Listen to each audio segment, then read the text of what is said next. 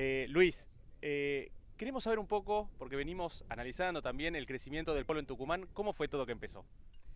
Bueno, te cuento, eh, yo empecé a criar, a, em, a, criar caballos porque era nuestra pasión, con mi padre en el campo, en un campito en Tucumán, este, con el tiempo fanático del polo y de los caballos de polo por algún amigo heredado, y en el año 2002 eh, con Fede Pasquini. Este, yo quería, eh, justo me recibí, estaba buscando hacer alguna pasantía, especializándome en caballos y algo así. Y con Fede Pasquini nos fuimos invitados por Alberto Pedro a su campo en Alvear. La verdad que fue un antes y un después. Nos dimos con que había muchísimas cosas que estábamos haciendo este, con muchas ganas, pero con mucho desconocimiento. Eh, Alberto bueno, me sobran palabras de agradecimiento, siempre lo digo porque, porque ni nos conocía, nos alojó una semana en su campo, nos contó y nos mostró todo desinteresadamente, nos dijo que le llevemos una potranca nuestra cada uno de nuestra cría, que era una cría con una base de caballos puros y no mucho más que eso. Eh, y que no, y, no, y elegimos ahí algunos potrillos que fueron los padrillos, los primeros padrillos polo argentino que tuvimos. Eh, en el caso de Fede terminó siendo el tiro fijo que ganó, que jugó varios años el abierto y ganó montones de premios. No tuve tanta suerte, pero fue un gran padrillo el que yo también me llevé. Este, y bueno, y eso nos acercó a la asociación de criadores, conocimos de la raza polo argentino y, y así empezó, así fue un poco el comienzo. Santiago, de lo que él contaba, conoces bien primero lo que está pasando en Tucumán, pero también en la familia Egui y la importancia de Alberto Pedro, ¿no? Bueno, yo me inicié con él, todo lo que sé lo sé por ellos.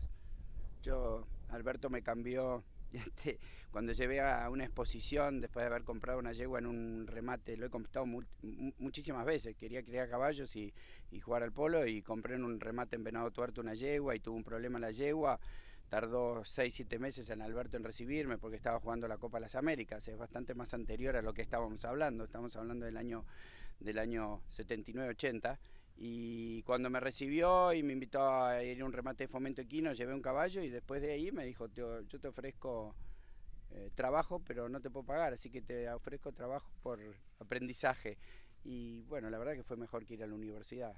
Eh, estuve 12 años trabajando con ellos, soy íntimo amigo de la familia y aprendí todo, se le debo todo. Bueno, mucho tiempo que estuviste con ellos y hablábamos de Tucumán precisamente, sabemos el esfuerzo que, han puesto ellos desde hace tantos años y tomando en cuenta que la primera vez que vinieron juntos a, la rural con intención de empezar a criar fue en el 2001, ¿no? ¿Cómo fue ese viaje? Sí, veníamos a la rural este, y Fede lo conoció a Alberto y, y, le, se presentó y justo yo no sé qué había hecho, me había ido a comprar algo y al rato nos encontramos y me dice, no, lo conocí Alberto y me, invitó que vayamos al campo de él. Este, nada, la verdad que no lo podía creer, nos fuimos, te repito, le llevamos unas potrancas crías nuestras, imagínate qué le podía interesar a Alberto y elegimos unos padrillos y así arrancamos y desinteresadamente, bueno, eso nos acercó y ese fue el puntapié inicial. Después de eso, este, nos fuimos metiendo en la asociación, anotamos todas nuestras yeguas este, madres, que, eran algunas puras, y, nos fuimos metiendo mucho, eh, con mucho asesoramiento de, ellos, de la familia Egui. Eh, también gracias a ellos lo conocimos al, flaco. Este, que, en ese momento no era presidente, pero estaba comprometidísimo con, con, el tema de los caballos de polo. Este, nos ayudó muchísimo. Eh, la, me acuerdo que una vez había, el ruso descartaba no sé cuántas yeguas y medio que no había mucho para pensar y compramos todas y nos llevamos todas a Tucumán.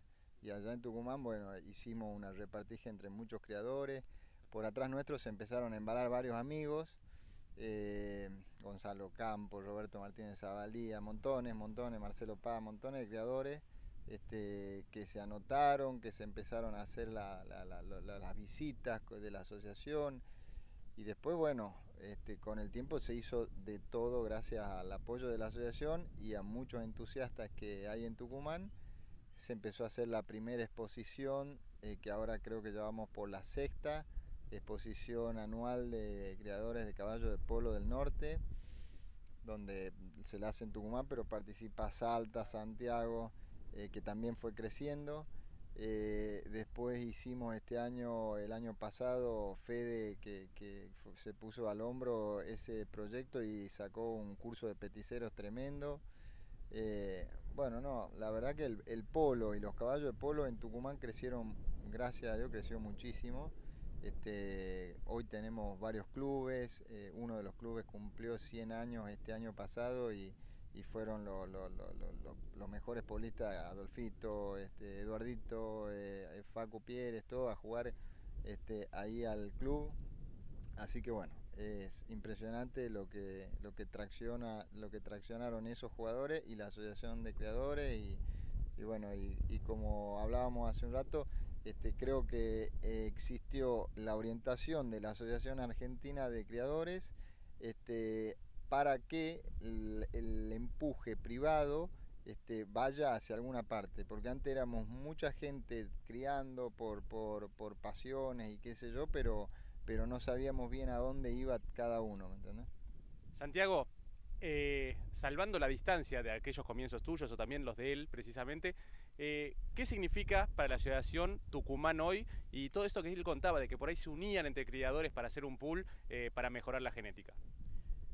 La realidad es que lo que pasó en Tucumán es un poco lo que me pasó a mí personalmente. Yo no tengo una familia de polistas en mi casa ni nada y tenía ganas de criar caballos y tuve la suerte de tropezarme con Alberto y Alberto en, esa época conseguir genética era más difícil que cuando los chicos empezaron a criar en Tucumán. En Tucumán se empiezan a mejorar sus crías a partir del año 2003, como dicen ellos. Yo empecé en el año, yo ya había empezado en el año 75 y a copiar genética en el año 80 era complicado, pero siempre Alberto tenía recursos y conocimientos de lugares donde podía encontrar buenas madres, así que por eso me importa mostrarlo, porque así como a mí debo decir que me llevó 33 años ser presidente de la Asociación de Criadores, habiendo sido el primer inspector, porque no había otro, no porque fuera bueno simplemente por eso, no había otro, no había otro que pusiera su auto, su tiempo y su dedicación para hacerlo, y no había dinero para pagarlo.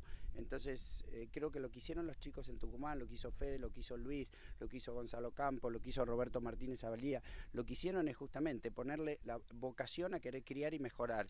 Y ahí es donde estaba la asociación, ahí es donde es importante una institución que esté presente, orientando y ayudando para que esos, esos objetivos que se quieren lograr se logren. Y eso es lo que hicimos, se fue ayudarlos, a, los guiamos, pero todo venía de ellos. ¿eh? El mérito es pura y exclusivamente de esa zona, pura y exclusivamente tiene nombre y apellido.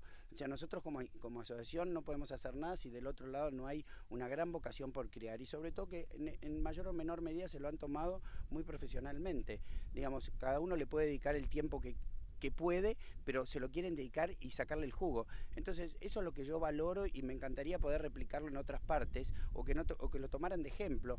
Más allá que no, no es lindo decir, esto es, en otras zonas pasan, pero realmente a mí me parece muy destacable eh, lo que ha pasado en Tucumán, me parece sumamente importante.